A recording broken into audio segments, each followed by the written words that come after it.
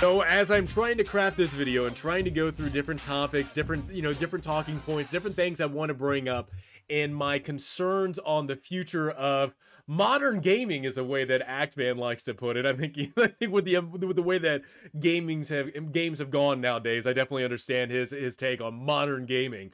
Uh but uh, dude, I just I I I don't know what to say. I am truly, after looking at these different things with the amount of money that Diablo Immortal has made in, in just the, in the past two weeks, learning that people have been spending thousands of dollars, thousands of dollars in Diablo Immortal, and just the feedback that I'm assuming that Activision Blizzard is getting from the amount of money that they're making from this game, and I'm assuming from the amount of feedback I guess other companies are going to be getting. Like, don't get me wrong, I, I imagine that Activision Blizzard is getting a lot of feedback going, man, we're going to be making millions, not if billions of dollars on this one game.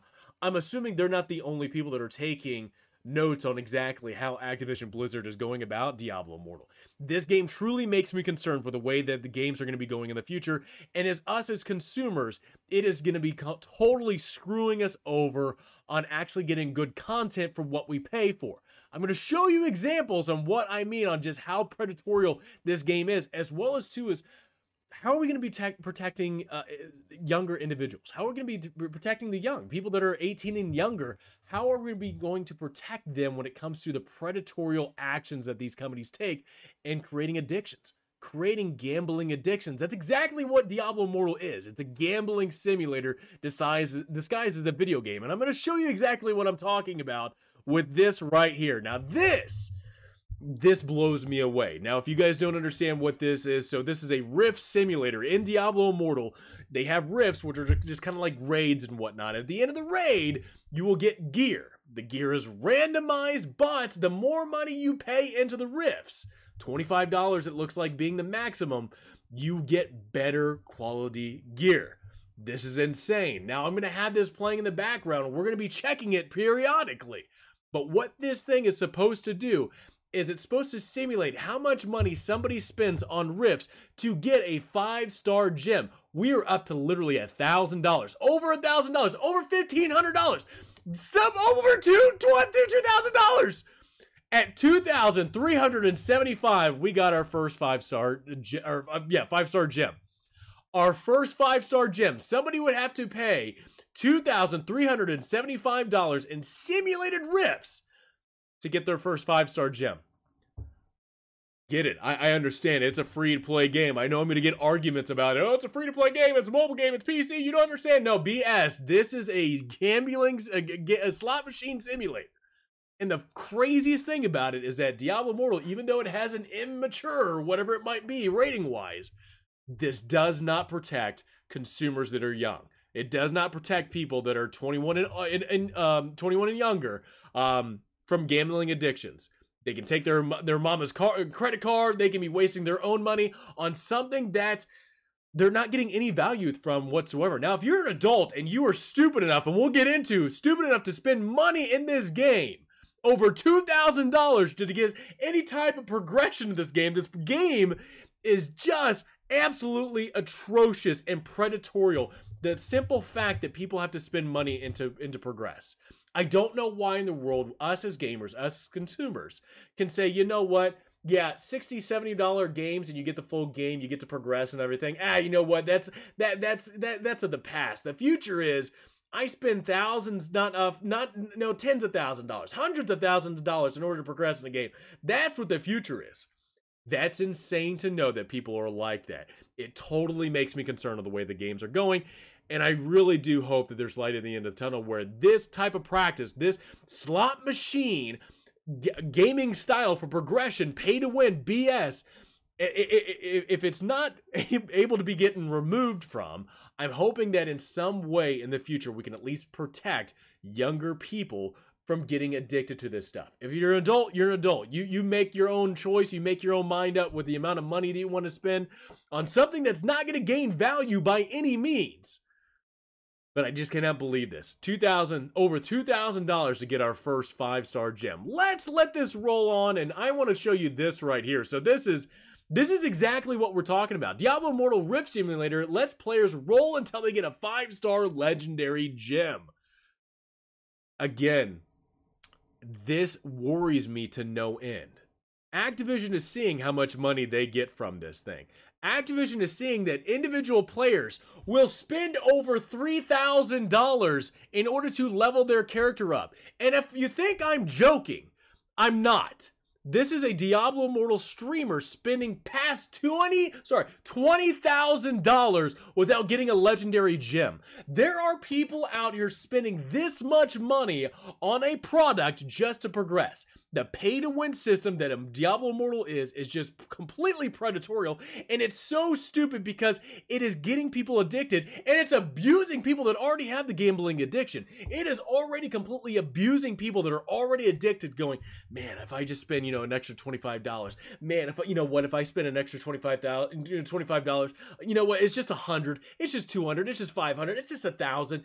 Before too long, let's go over to our simulator. We are still going at over $5,000 and we haven't gotten our second gem. Now, everybody probably knows, and you've read the story too as well, I'm assuming, is that, you know, it takes over a $100,000 to actually get fully ranked up in this game. Progression wise, and I understand it's a MOBA game, but over a hundred thousand dollars to progress your character to full rank is, I don't know, I can't understand. I could not understand people spending this much money to progress. Understanding for adults hey man it's your money. You spend it the way you you do. But the simple fact that kids are able to do this is one thing that we need to protect. And again like i said this if this is the future of modern gaming we as consumers we as players are completely we're going to be completely destroyed uh, the way that games go, the way that games are, are, are, uh, at least the way that Diablo could have it, if the way that Activision could have it, if if if Activision could design the future of games, Diablo Immortal probably would be the way they would go. Hey, look at that! Sixteen thousand dollars later, we got our second gem, baby. Sixteen thousand dollars, we got our second gem. You know what? Let's talk about this. We're gonna keep it rolling. Let's talk about this. Diablo, why Diablo more revenue? Oh, hold on, sorry, that's a that's a different story. We'll scroll back up. I imagine that we. Oh, look at that, we're still going. Hey, hey. Diablo Immortal is making twenty four million dollars in two weeks is a good sign. Now, the one thing that I've seen a lot of people bring up is that Diablo uh, Diablo three made a lot more money, several millions of dollars, uh, compared to where Diablo Immortal sits at right now. But I'm going to tell you right now, Diablo Immortal is a free to play game. It is a mobile game. It hasn't released in China yet. That's a that's a big argument on why Diablo 3 made a lot of money is because it was you know in China's mar- Chinese markets as well. But Diablo Immortal is not released in China yet. They're going to be making whenever it released. I think July 7th is one of those you know dates out there that Diablo Immortal will be released in China. They're going to be making money hand over fist, man. The way that this predatorial system is, the way that it, it, it's on mobile, they got ported to PC it's getting addicted. People addicted to, on PC, on mobile. I'm surprised it hasn't been made over to a console port. Which, you know what? Telling by the future of way, the way the mobile games are, that mobile games make so much millions uh, upon millions of dollars. They've made a PC port. I imagine before too long, with the amount of money that they that that, that people will spend on this game, I imagine Activision has a plan to put this into console ports it it it truly makes me concerned because we we are not getting a good quality game. Seventeen thousand dollars, baby. Seventeen thousand dollars. We haven't gotten a third gem yet. Do you feel robbed? If you were playing this game, would you feel robbed? Hey, look at that, eighteen thousand dollars. Hey, we got our third gem, baby. we got our third gem, man. Hell yeah. You know what? I'm feeling lucky. I'm feeling. Lu- I feel like I feel like my money well spent. Money well spent. I got my third gym. You, you know what? Let me just spend an extra $25. Let me just, you know, an extra 50. Ah, ah damn, 100. Oh, 200. Come on, I can get my next gym at, you know, 300, 4, 5, 6, 7. You know what? Shit. Oh, look at that. $20,000, baby. Yeah, 20,000. Get my fourth gym. Woo, buddy. 20 grand. 20 grand! That's all I had to spend! You know, back in the day, back in the day, I don't know how many people remember this. Back in the day, you pay 60 $70. Woo! You get the whole game. You get to progress. Not having to pay any extra to progress. Man, those were the days, right? Those were the days, man. What happened? I'm telling you, this is the future. The, unless we as consumers, as gamers, we make a statement, we, we push for some type of change, this is what the future is going to be holding. This is how progression is going to be going. I'm telling you right now, Activision is learning everything from this. They are learning of how much money they can make. They're learning steps and ways to be able to get people to get addicted to this system. Whether it's, you know, a starter pack here, a starter pack there, buy this, buy that, get this, boom. You're getting people addicted. This is the way, if we don't make any changes whatsoever, the way that Activision and so many other companies are going to be making their games. We need to set a standard. We need to let our voices be heard as consumers, as gamers. But I don't think I don't I don't think everybody thinks like I do, and it makes me concerned on how this game's gonna go. Let's do another spin. Let's talk about this last thing. Asmongold.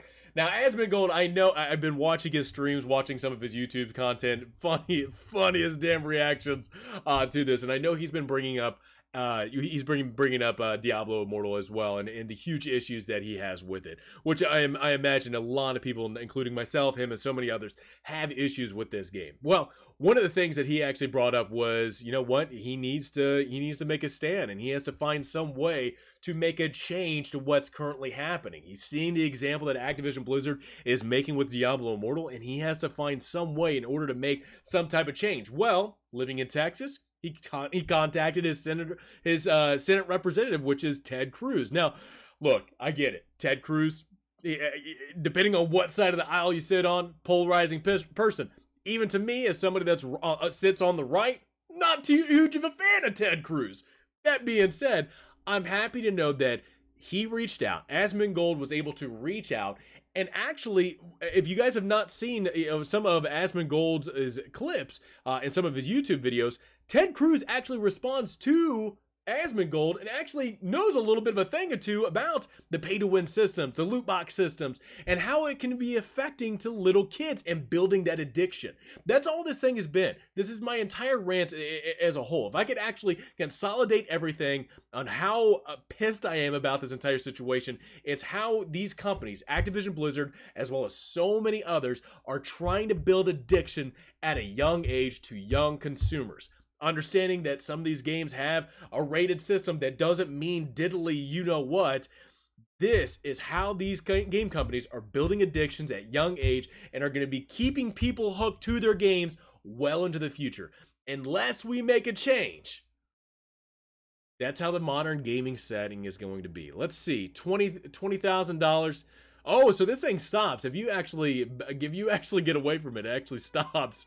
So, anyway, my God, man. But anyway, this is uh yeah, this is this is what uh this is what the future has in store for it. I don't know if you guys can hear. My kids are just getting home, so that's my future. But honestly, when it comes to the future of games, it truly does make me concerned on what the younger generations are going to be dealing with. If somebody in the younger generation wants to be playing video games, come here, beautiful. Speaking of the younger generation, it makes me totally concerned on what gaming will be like for younger people and the, the, these companies building addictions to younger kids and making them addicted to these systems as they get older. So let me know in the comments below. What do you guys think about this? What do you guys think about Diablo Immortal? And what do you think about ending the addiction, ending these practices of building addictions onto younger audience? And uh, where do you guys see, I guess, when it comes to uh, modern gaming? Let me know in the comments below. Hope you guys enjoyed the video. Please have a great rest of the day. There's my little one. There's my little girl. And I'll see you guys all next time. You say bye-bye? Bye.